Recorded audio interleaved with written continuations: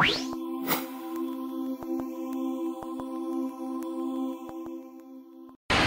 what's up? It's JJ. Welcome to another episode of Free Magic Live. In today's How to Magic Monday video, I'm going to be doing the magic trick. That's right, I'm back. I'm going to be doing something with a pack of cards and someone's mind.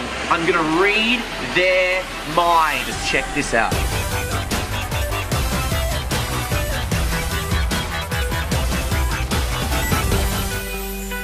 Guys watch YouTube? Yeah, do you? Cool. Jay, how you doing? Not bad. What's your name? Aaron. Aaron. Say what's up. Yeah, what's going on? Isaac and Levi, nice to meet you. But Isaac and Levi, that's funny. I have two people who work with me on the Free Magic Live channel named Isaac and Levi. So, what's up, guys? All right, so quick question. Guys, how many cards? That's pretty cool. Right, I'll do it again. Ready? Boom! Okay, all right, you show those. Good work, man. Hey, let's let's try this. Um, I want to try. Um, have you ever been to a, a psychic before? No. No. Okay. Would you ever go to a psychic? Uh, not really. No, I'm not really into them. You know, I'm not, I don't. I don't believe them. You know, but I'm going to try and get in your mind right now. Say stop. Take the card, don't show me, show your friend, show the camera you. Okay, you've done that. Once you've done that, put the card back in the deck wherever you want, guys. Okay. Remember it. Place the card back wherever you want in the deck.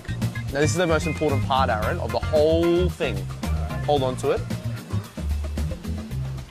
I want you to think of that card. Okay? I want you to, to see it right here. Firstly, I want you to see the color of the card right here. It's right here. Color's gonna be right here. Think of the color now. It's red, isn't it? Is it red? Yeah. Yeah, okay, all right. What, what? So yeah, yeah. Don't give me too much credit. All right. Um, think of the think of the suit. It's hearts or diamonds. You're thinking of it right here. Think of it so the so the hearts or diamonds. Think of the shape now. Okay. No, it's hard, isn't it? Right? Good work, good work. All right. Nice. All right, here we go. Ready? Think of the number. Or maybe it might be Jack fingertips. Think of it right here. So you got the colour, you got the suit, and you got the number or the roll card. Ready? Ten of hearts.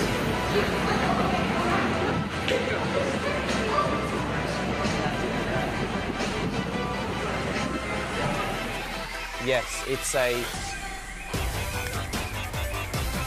nine of hearts. Is the card?